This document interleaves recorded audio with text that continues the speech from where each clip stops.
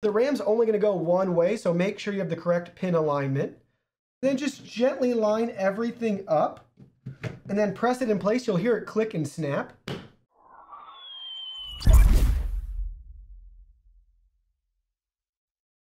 Everyone, Digital David here. Today in this video, I'm to be checking out the Asus ROG Strix B550i gaming motherboard. I did purchase this product myself, and any opinion expressed in this video is strictly my own. That being said, if you're interested in this product, you want to find out more about it, the link to it will be in the video description. You can see the nice retail box and packaging right here walking us through all of the product tech specs and key features. You also may notice a sticker on the front letting us know that this supports Ryzen 5000 series desktop CPUs as well. And then we have our marking on the packaging letting us know that this supports third gen AMD Ryzen desktop CPUs. But it's nice that they went ahead and they put that sticker on the box as well so we know it's ready right out of the box for the 5000 series. We can learn more on the backside about this product and its special features. So it's got audio USB Type-C, Intel Wi-Fi 6, BIOS flashback, which is important if you are using a next-gen CPU, and a USB 3.2 Gen 2 front panel connector. And this is PCIe 4.0 ready as well. Now let's go ahead, let's open it up and look at the contents. Here are all the package contents. First up, you can see we have some stickers and product literature. We also have a DVD version and a physical copy of our user guide and manual. Next, you can see all of our cables and hardware right here that we have for us. A lot of screws, standoff brackets, that sort of thing. Also notable, we have a USB Type-C to audio connector right there.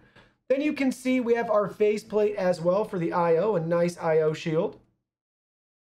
And last but not least, you can see we have the motherboard itself. Let's go ahead, let's look at that in more detail. Here's a look at the board up close. Check it out. You can see very small and compact. Two DIMM slots, our CPU socket. We have our M.2 heatsink. Underneath this is where we can install one M.2 drive. You can see our PC 4.0 slot right here. You can see our main power connector, USB Type-C, USB 3.0. You can identify everything right here. Very simple, straightforward. You can always reference the user guide and manual as well. Let's flip it over to the back side so you can see the back right here. We also have another M.2 drive slot on the back, which is great if you want to expand your storage. And then we can see it from this side, this side, and then we have our back I.O. right here. USB Type-C audio, our audio connectors, Wi-Fi. You can see our USB ports, BIOS flashback, HDMI, and DisplayPort right there. Now let's go ahead, let's get this installed. So the first thing we're gonna do is prep our motherboard and get it all set up and ready to go. So we're gonna install the M.2 drive, our CPU, our RAM, and our bracket for our cooler. So let's go ahead, let's do that right now. So to get the M.2 drive installed, we need to remove the heatsink. So let's go ahead, let's just gently remove it right here. So we have two screws to take off. There's the first one. Here's the second one. And now you can see we have the heatsink removed and we have our thermal pad on there. Now we're ready to go ahead and take our drive, make sure everything's lined up, and then we're gonna install it right in place. So you can see we already have a screw ready for us, or your drive will come with one you can use. And if you need to reposition that standoff bracket, feel free to do that. But you basically just line it up at a 45 degree angle and then you press it in place and you can see we're gonna have to just gently press it back down to get it installed on our motherboard. Depending on the board that you're using, you may have multiple slots, and you can see on this particular board, we can actually add another drive right here in the backside, and you can see we have spots for our standoff brackets again. So now we just need to go ahead and put the heatsink cover back on. So you can see we got the heatsink tightened down again, and now our M.2 drive has successfully been installed. Now we're gonna go ahead, we're gonna get the CPU installed. So we're gonna take this lever right here, we're gonna pull it up, and now we're ready to take our CPU, and we're gonna look for that gold corner right there, and we're gonna match it onto the board where this little triangle is. So that's what we're gonna do to gently put it in place. So you'll see it'll just drop right in. You won't have to force anything, and just line up that triangle with the little triangle in the corner right there.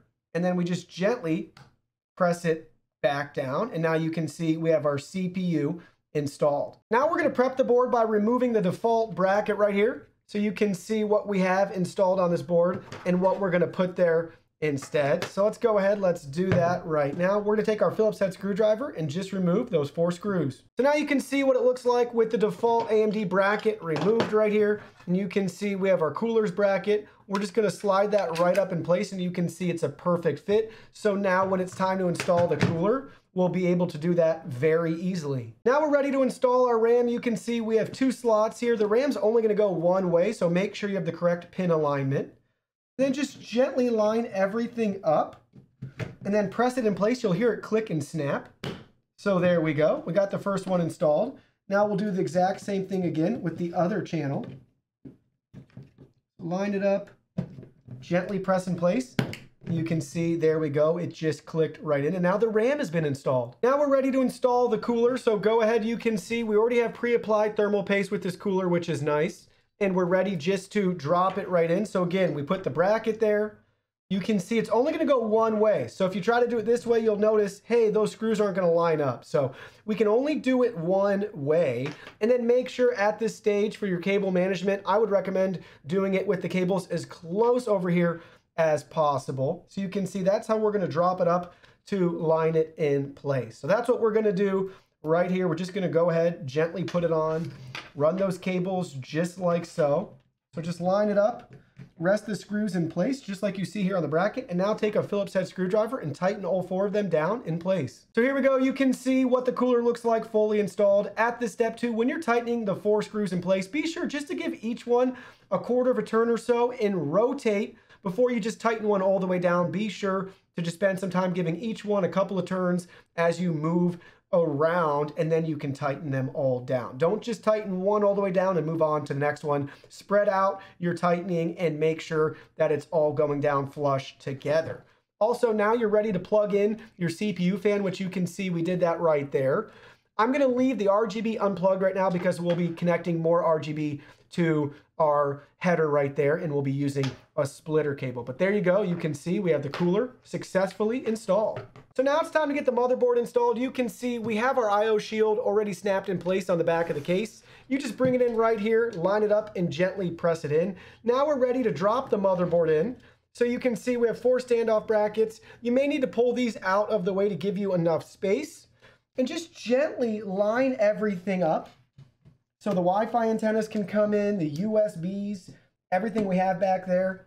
There we go. Now you should see that it's fully seated and we're ready to fasten it in place with four screws. So you should have 12 of these screws included in your kit and then we'll just drop them right in place and tighten them down. So now you can see we have successfully installed the motherboard and fastened it down. Now we're ready to plug in the rest of our cables right here. So you can see we have our HD audio. That's gonna go right here under this cover. We may need to remove with a Phillips head screwdriver. Then you can see we have our front panel connector. That's gonna drop down right in here and get plugged in. Page 1-18 in the user guide manual is going to walk you through the correct setup for that. And I do want to point out they have this nice cover on there keeping everything together for us. Then you can see we have USB 3.0 for our front panel. That's going to go right in here. And pay attention to how this notch is lined up. It's only going to fit one way. So you can see that's our front panel connectors. And then everything else we have to connect is going to be our fans and our RGB. So here's a close-up of all the connectors right here. So in the end, I did have to undo that screw to connect the HD audio. Then you can see going further along, we have our USB 3.0 right there. Then we have our front panel connector just pushed right down in place, really nice. Main power supply. You can see over here, first up we have our 5-pin splitter for our RGB. Then you can see we have our chassis fan which is going to have an adapter for us so we can attach both fans to this motherboard. Then you can see where our CPU fan's installed. And lastly, we have our connector right here for our CPU power from our power supply. So that's a quick close-up look of all the connections on this board. Keep in mind there's USB Type-C if you have that connection for your build if you're using this motherboard.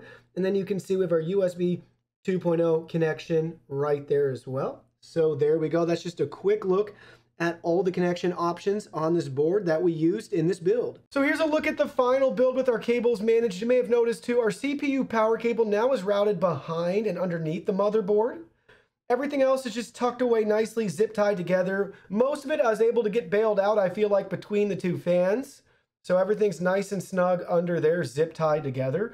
Really happy with how everything turned out with this build in regards to cable management. I wish I could make this a little bit prettier. Not sure in the future if I got like a longer extension cable, I could maybe run it that way and that might look a little bit better. And unfortunately with this board, the HD audio, there just really wasn't much I was able to work with there. And I still wanted to keep this slot open in case we ever want to add a GPU to this build. But let's go ahead, let's shine a light into.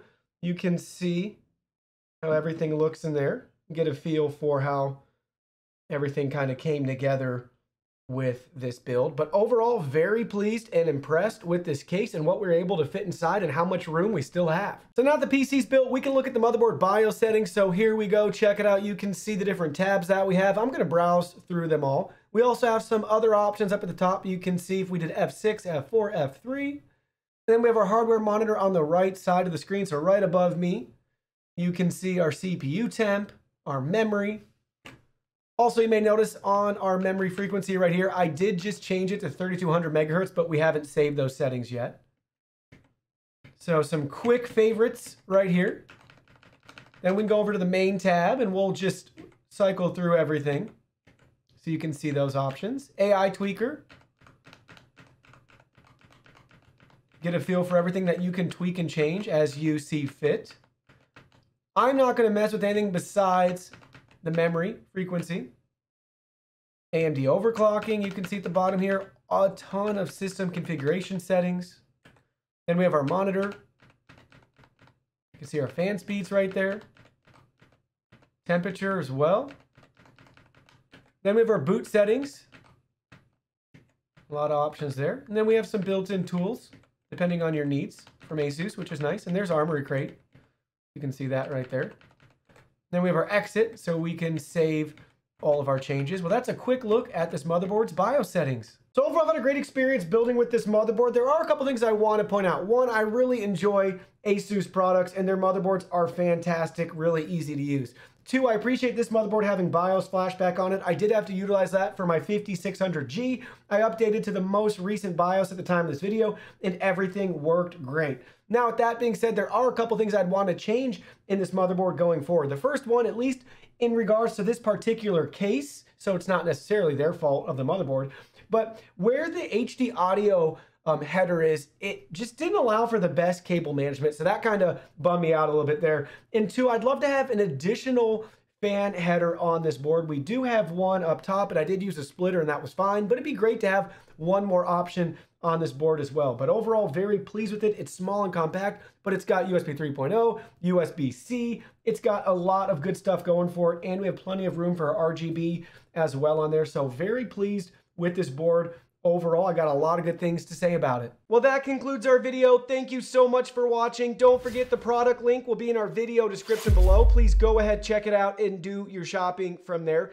Any purchase made through that link helps support our channel at no additional cost to you. So we're really grateful and thankful for all of your support. While you're at it, can you go ahead and hit that like button for us? And subscribe to our channel. We have new content coming out daily and we don't want you to miss anything. Please go ahead and give us a follow online and make it a clean sweep.